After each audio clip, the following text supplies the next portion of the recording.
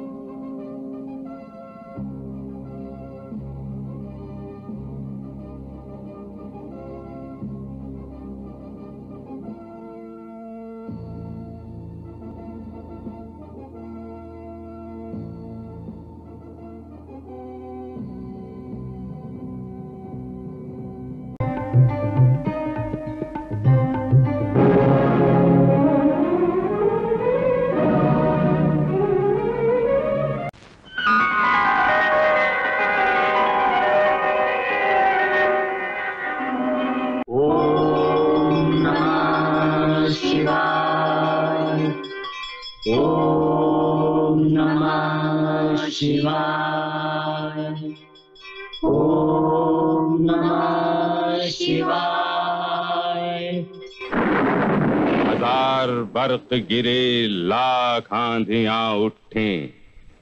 वो फूल खिल के रहेंगे जो खिलने वाले हैं।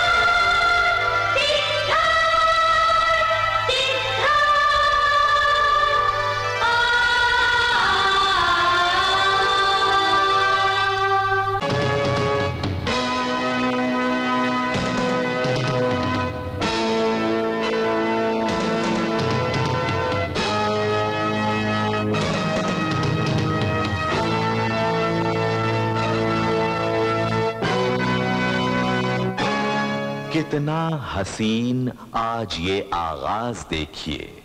दिल से उभर रही है ये आवाज़ देखिए। एहसास भर रहे हैं ख्यालों में ज़िंदगी। एक ताजगी लिए हुए अंदाज देखिए।